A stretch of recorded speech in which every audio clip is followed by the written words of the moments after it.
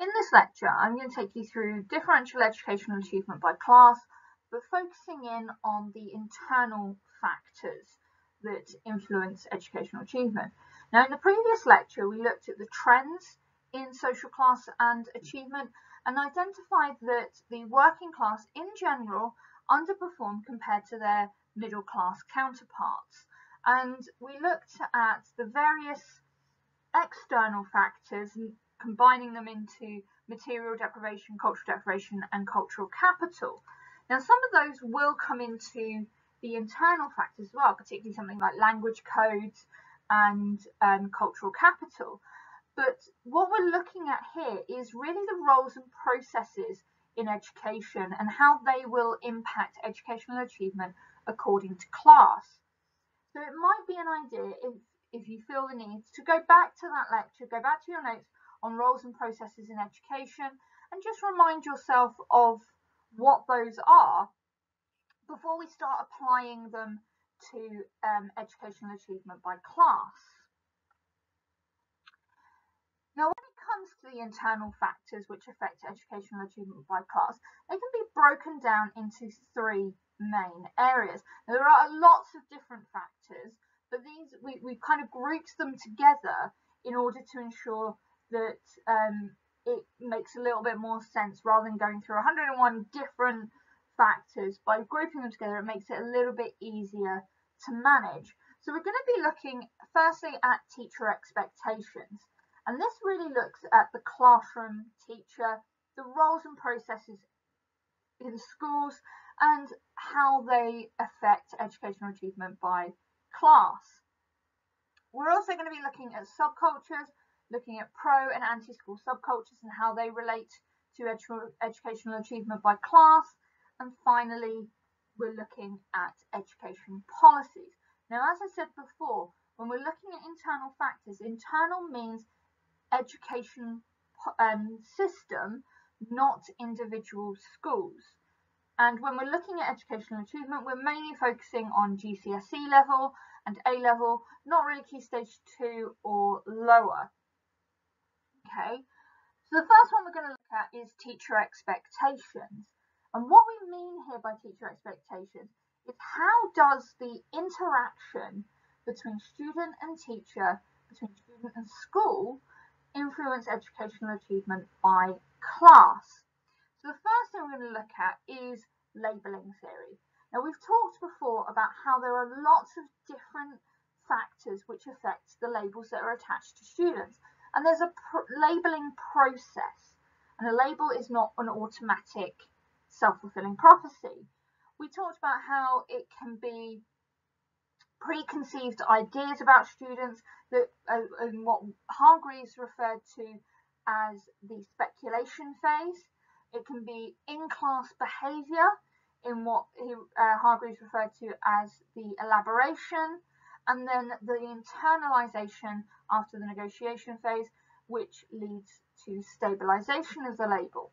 And the sort of things we're talking about here that, that create these preconceived ideas are things like um, prior data, um, the um, reputation of a student, the reputation of family members of that student, but it's also things like uh, in terms of the elaboration phase, is also things like not turning up with equipment, uniform not being correct, um, students who um, don't do their homework, things like that that all create this label.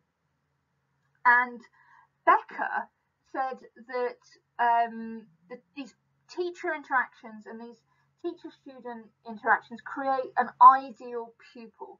The, the the mold, if you like, of what a teacher is looking for in terms of the students in their lesson. Now, generally, schools will have a an, a, a school-based view. Every subject's slightly different, so there, there may be more subject-based um, ideal pupils as well. If you remember back to our previous lecture on roles and processes, Hempel Jorgensen suggested that this ideal pupil um, varies depending on the socio-economic background of the school. So a school where discipline is a problem, where it's more a deprived area, that sort of school, their ideal pupil is more likely to be quiet, passive, and obedient. But a school that's more middle class, more affluent in nature, that has few disciplinary problems, their ideal student is more likely to be defined by personality, by academic ability, and by their engagement in wider school activities than it is by behaviour. And as I said, this label can also be linked to individual teacher expectations. So, for example, my expectation of what I would expect from a student in PSHE is different to what I expect from a student in sociology. What I expect from year 7 is different to what I expect from year 12. That's not to say we don't see similar behaviours in both, um, but um, those sort of things will will shape the labels that I give the students and shape the impression that I get of that student. And subconsciously, that can lead to differing um, levels of help, different level level uh, differing levels of support in the classroom, um, and differing levels of behaviour.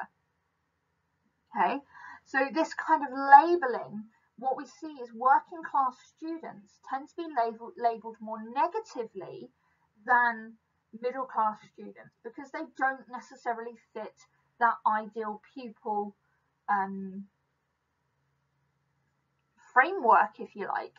And what you see, and this kind of links back again to the external factor of working class subcultures and Sugarman's ideas of habitus and Bourdieu's ideas of habitus, that when the behaviours of those external subcultures are seen in school and they don't match that ideal pupil framework, they're seen as you, you get that kind of symbolic violence where um, students are told that they're not good enough, that they're not the, the, way that they're um, putting themselves out there isn't appropriate, and that can be linked to that um, symbolic violence that we've talked about previously. So it can labeling can lead to that um, working class underachievement because, as I said, they are more likely to be labelled negatively, and that could lead to that self-fulfilling prophecy. Remember, there is that negotiation phase, but it can lead to students from working class backgrounds believing that they're not academic, that they're not very good at school, and that therefore they are destined to fail. So why try? This also links into our next element of teacher expectations, and that comes with setting and streaming. Now, you'll remember from the roles and processes lecture that when we're talking about setting, we're talking about ability groups for individual subjects, whereas streaming is ability groups across all subjects. So if you're in top set English, you're in top set for all your subjects, whereas setting means that you can be in different um, ability groups for different subjects depending on what your ability levels are. Now, the labelling that we've already talked about can lead to um, people, uh, students being put into lower sets and streams if they're not hitting that ideal pupil um, framework or that they're coming across as not as um, able. Now, when we're looking at setting and streaming in terms of um, educational achievement by class, working class students are more likely to be placed in the lower sets and streams.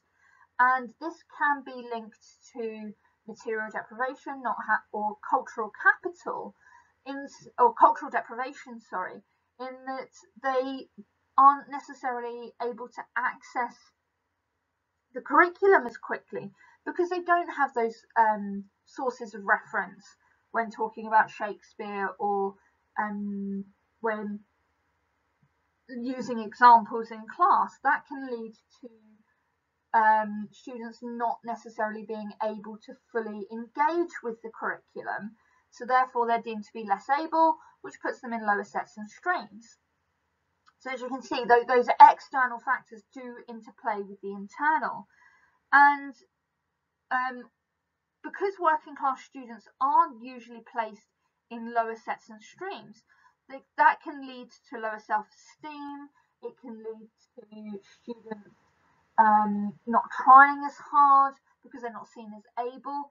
And as we said as well, it can also lead to limited opportunities and limited access to opportunities to actually prove that they can do well or they can improve and do better. Okay. Next up, we've got um, educational triage. And what this means is that students are generally split into three groups.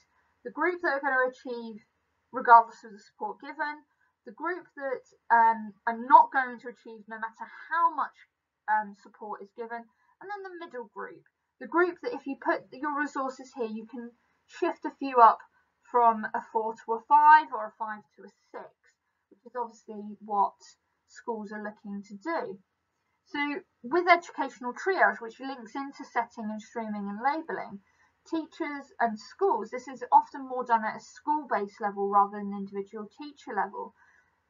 They will identify those students, what they call borderline students, and really pour resources and support to those students with the help with the idea that they would then um, achieve slightly higher, perhaps a four moving to a five or a five moving to a six or a C moving to a B. And that means, but because the working class students are more likely to be in the lowest sets and streams, it's likely that they're going to fall into the group of students that are going to fail anyway, regardless of what um, systems and strategies are put in place. So therefore, they are more likely to underachieve.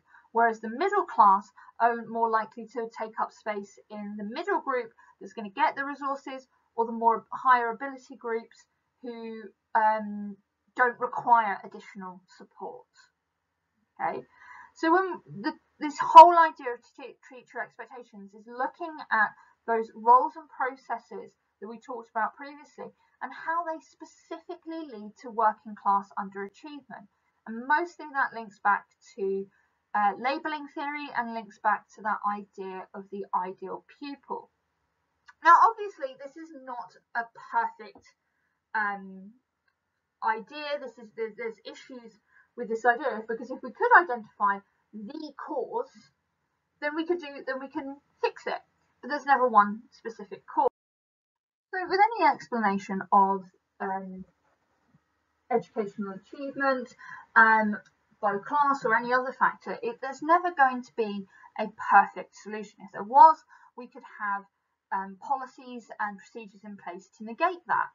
So when we're looking at the idea of teacher expectation and the roles and processes in schools, which um, lead to working class um, underachievement.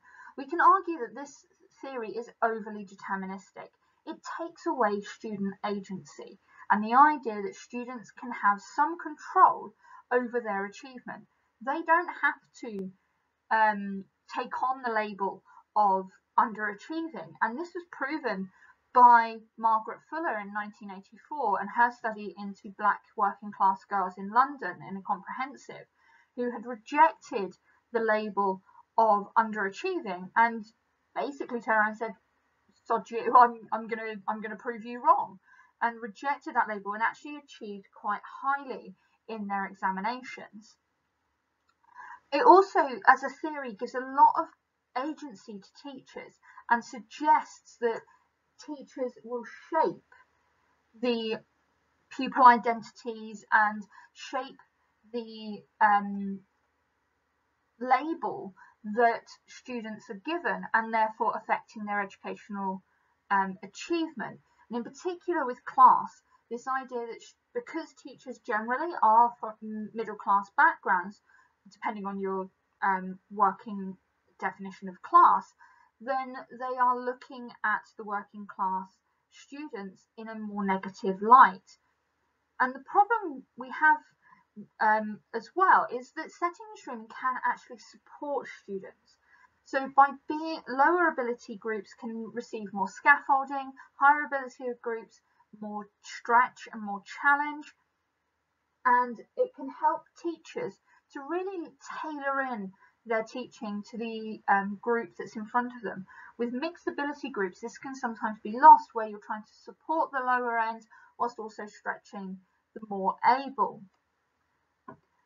there's also been changes to teacher training. So uh, teacher training now talks about labelling and talks about unconscious biases and how that can impact and influence educational achievement in a way to try and negate that and make people aware of these issues so that they don't perhaps become as big of an issue in um, education. The next factor we're going to talk about is subcultures. And we've talked previously about the anti-school and pro-school subcultures and what they mean. What we're looking at here is how this links to class. So I'm not going to go into much detail about what an anti-school or pro-school subculture is. You can go back to the lecture on roles and processes in education to, to look at that. But what has been found is that working class students do tend to be more likely to formulate an anti-school subculture because they're not able to achieve status in the same way as middle class students through academic ability, through um, acceptance into wider school activities, things like principals' councils, school plays, um, prefect systems, and things like that. And um, as we learned with, from Sugarman, the habitus of the working class tends to be more anti-school or not necessarily, I wouldn't say actually anti-school, but tends to be very different to school culture, which leads lends itself more to um, middle class habitus. So where with schools you have um, the idea of deferred gratification. Work hard now and you'll get good grades at the end of year 11 or you'll get good grades at the end of year 13. Working class subcultures tend to be more immediate gratification. They want the status, they want that reward immediately. And that's kind of an antithesis to um, schools, which can lead to students formulating that anti school subculture because the way that they um, see their behaviour may not be as a bad kid, and very rarely there are bad kids, but there are, uh, it, it just kind of puts them at odds with the um, school culture, which can lead to that anti-school culture from forming. Whereas the middle classes are more likely to formulate the pro-school subcultures because they are more committed to school values, and but they're also more able to engage in the wider life of the school. They're more likely to be able to attend the open events, to do the um, school plays and out extracurricular activities that create that, that create that status for them because they may not have caring responsibilities at home or part-time jobs as the working class may. But by gaining status through that anti-school subculture, the working class are more likely to underachieve because the way that they gave, gain that status is through things like um, truanting, disruptive behaviour, and breaking school rules. Whereas the middle classes who are more pro school get their status from that academic achievement and from their engagement with the wider school life. Now, the problem with this theory is that not all students join subcultures.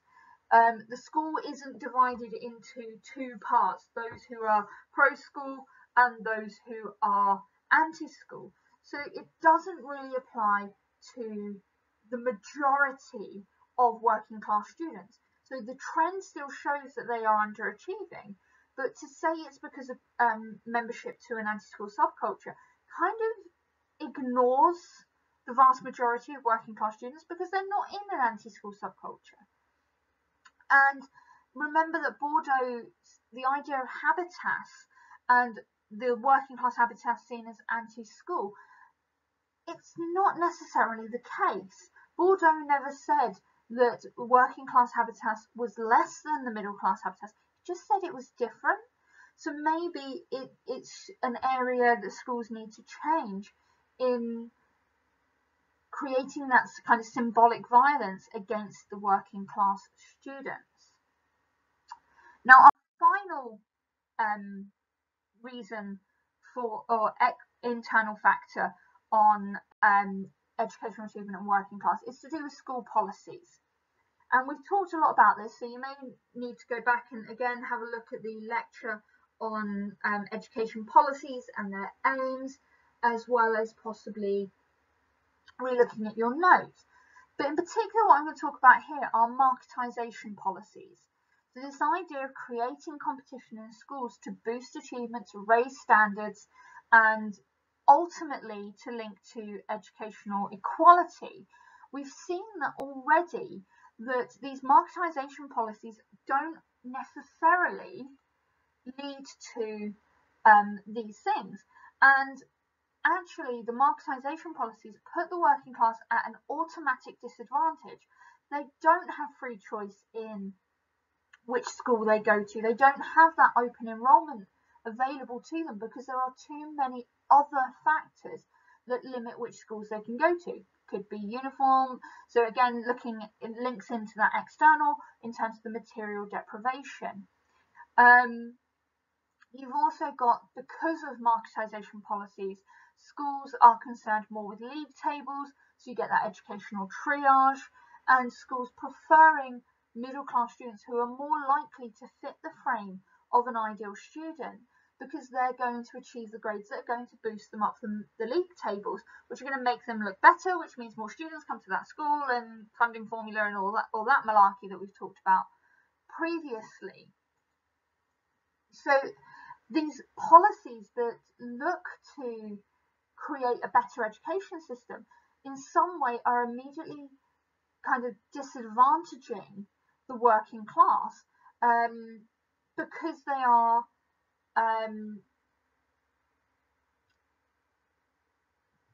as I said, um, disadvantaging the working class because they don't open open enrollment to everybody. They don't create the, the choice that they're supposed to for all students.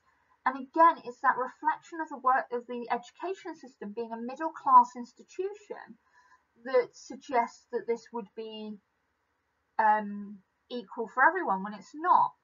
However, we do have what are referred to as compensatory education policies.